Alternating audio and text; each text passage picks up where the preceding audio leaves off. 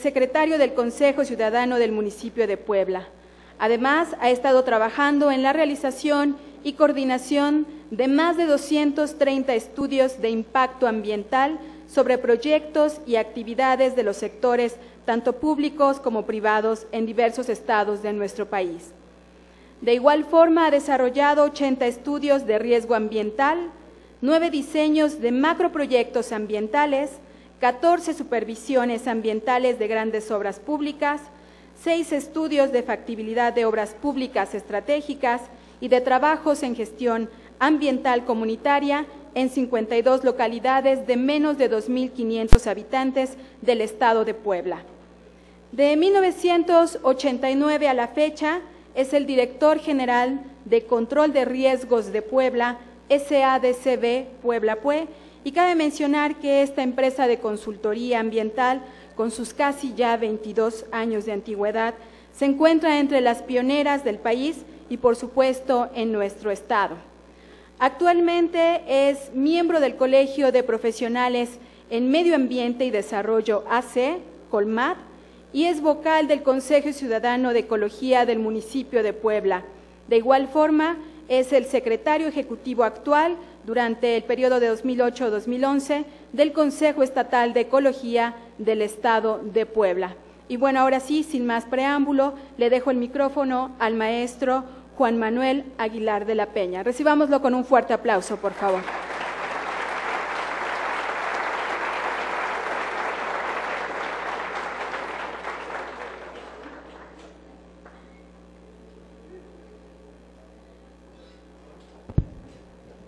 Bueno,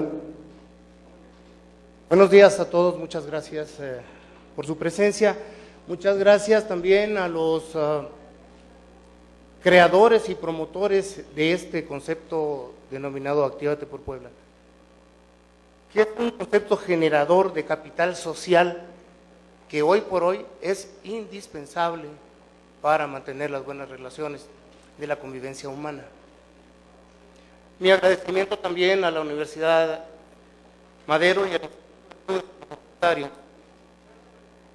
anfitriones y organizadores de este evento, por la deferencia de haberme invitado a participar junto con todos ustedes en este último foro temático universitario que forma parte de los ejes cardinales de Actívate por Puebla, que ha de proponer fundar nuevas vertientes de administración pública que favorezcan mejores, permanentes y más equitativas condiciones de bien ser y de bienestar para todos los poblanos. Eh, esta plática con ustedes eh, persigue los siguientes propósitos. Primero, homogeneizar los eh, conceptos más comunes sobre medio ambiente, componentes ambientales y la sustentabilidad del desarrollo. dos, hacer conciencia eh, de la causa principal que provoca la crisis ambiental eh, que actualmente enfrentamos. Tres, acercar a la audiencia al conocimiento de la situación que guarda el desempeño ambiental poblano. Eh, ubicar el espacio también, donde cada uno en lo individual y en lo colectivo puede contribuir a paliar esta situación de la crisis ambiental. Y por último también generar dudas e inquietudes que enriquezcan los trabajos posteriores a, esta, charla. Durante la presentación se van a presentar algunas diapositivas, solo para acompañar la, exposición y su contenido no necesariamente eh, refleja un estado o condición en particular. Bueno, pues vámonos pues. La inclusión del tema sustentabilidad y medio ambiente como un concepto central en la construcción de, propuestas de política pública para la próxima administración estatal, representa por sí sola ya el ofrecimiento de capital social en esa materia. Quizás algunos de los que estamos aquí nos hagamos la pregunta, bueno, ¿y por qué incluir el tema ambiental como aspecto del análisis? Bueno, vamos a tratar de ubicarnos en ese, en ese contexto este, de nuestro quehacer cotidiano y el medio ambiente. Hasta hace, hace muy pocos años, los temas ambientales fueron, si no ignorados, si fueron minimizados y subordinados al crecimiento económico y al desarrollo social. De esta manera, los impactos ambientales que se vienen generando por los procesos económicos de nuestro modelo y además el crecimiento demográfico, pues no fueron estimados, pero estos temas ambientales fueron creciendo y creciendo y creciendo.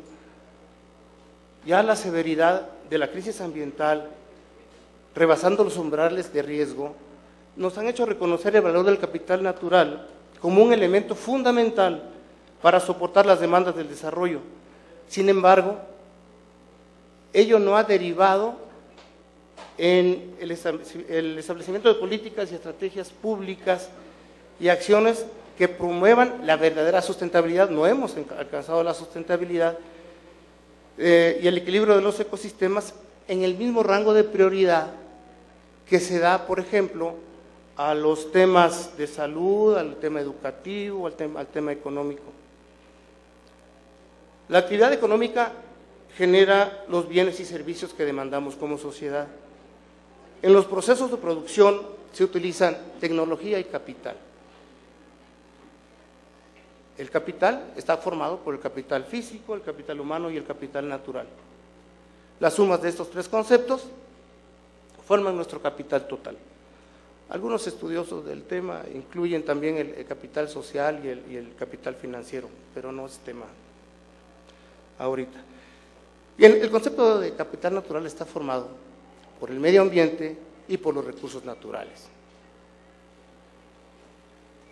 ¿Y qué es el medio ambiente? Bueno, el medio ambiente es, el conjunto de, elementos naturales y los inducidos por el hombre, los artificiales, que interactúan en un tiempo y en un espacio determinados. Esa es una, definición, una definición bastante práctica que nos puede orientar. Eh, en este gran marco de observación que identificamos frente a nosotros, frecuentemente encontramos algunos fenómenos que no alcanzamos a explicarnos del todo, pero que interfieren con nuestro diario de venir. Por ejemplo, la contaminación de los ríos, de las aguas superficiales, la escasez del agua, la presencia intensa de sequías, heladas, lluvias, la pérdida de fertilidad en los suelos, la pérdida de bosques, la pérdida de vida silvestre, los contaminantes que respiramos que andan en la atmósfera. A estos fenómenos se les conoce como externalidades ambientales y son atribuibles al modelo de modernidad que, hace predominar al desarrollo de la, de la razón tecnológica por encima de la organización de la naturaleza. Estas externalidades afectan de diferente forma, directa e indirectamente, a las personas, por lo que la administración pública tiene que destinar recurrentemente costosos presupuestos para ir tras la restauración de los daños ambientales. Para la administración pública, la crisis ambiental representa serios inconvenientes políticos como son los aumentos en los índices de pobreza, de marginación, de migración, baja recaudación, falta de inversión, presiones sobre endeudamiento público, conflictos socioambientales y hasta problemas de gobernabilidad. Uno de los efectos adversos más severos e inmediatos del problema es la falta de dinero para rehabilitar los daños ambientales que vamos generando.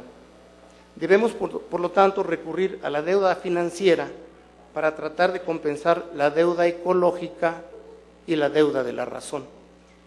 Ese círculo vicioso de nuestro modelo económico que nos sujeta a la calidad de invitados en la fiesta del crecimiento. Mientras los procesos de, degradación ambiental siguen en aumento, muy por delante de los esfuerzos para reducirlos, a la complejidad de sus consecuencias se suma ahora la aparición de un fenómeno precursor de más y más severos desequilibrios en los ecosistemas, como es el calentamiento global. Quizás entonces ahorita podríamos explicarnos por qué Actívate por Puebla incluyó este tema de, sustentabilidad del medio ambiente. Es ahora cuando decimos, sí, parece que hay problemas serios allá afuera. Bueno, esta es la razón por la que Actívate por Puebla incluye este tema como aspecto social de análisis y propuesta.